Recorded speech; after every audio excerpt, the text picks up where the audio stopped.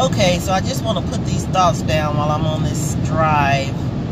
And one of the things that I just thought about was one of those unsung heroes of our world. And to me, I want to give my props to the bottom hoe. I was just thinking about the characteristics of a bottom hoe. That's an awesome woman.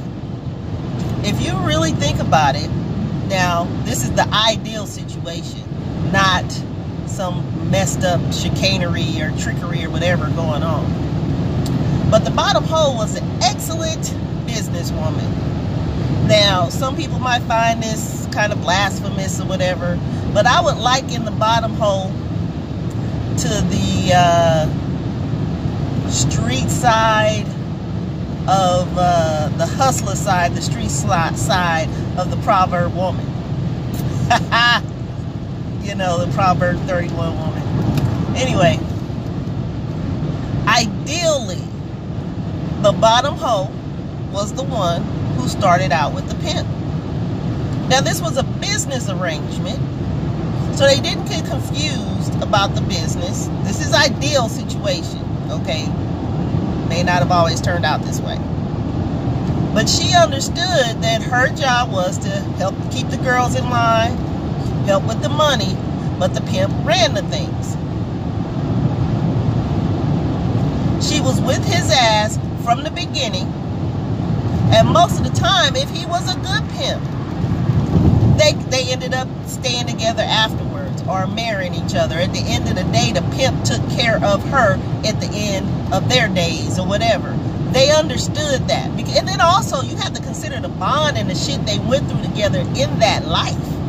I mean, they went through some shit. Dealing, just dealing with a whole bunch of women by themselves and some shit. Then you got people not wanting to pay. Then you got, you know, people wanting to beat up on people a men want to beat up on women. That's the merchandise. You can't beat up on these women. Then you got to educate women on what to do with their cycles and how to live together and how to go out there and work and all of this kind of shit and how to keep it business and all of that.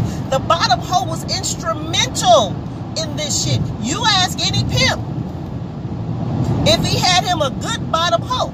Ask any pimp if he could have made it that far without her. That's all I'm saying.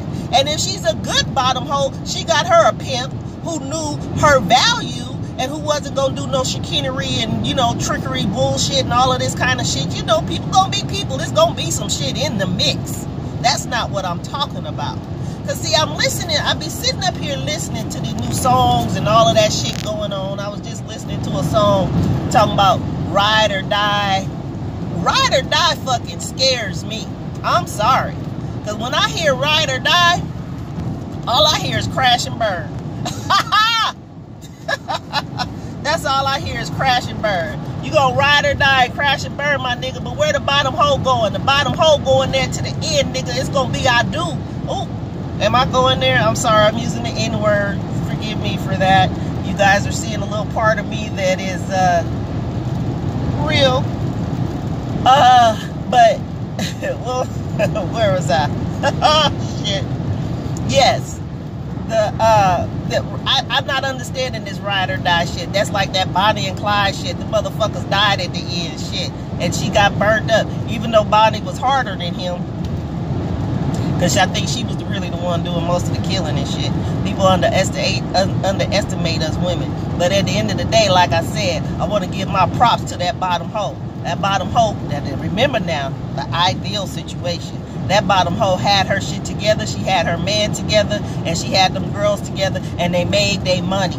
They went through some shit together, they did all of that, but but they stayed true to the game, and they made their money.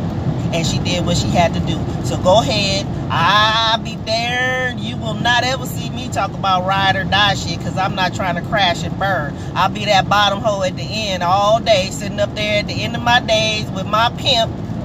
You hear me? And we just gonna be good on the money that we made off my back. That's all right though. That's all right. We got this going.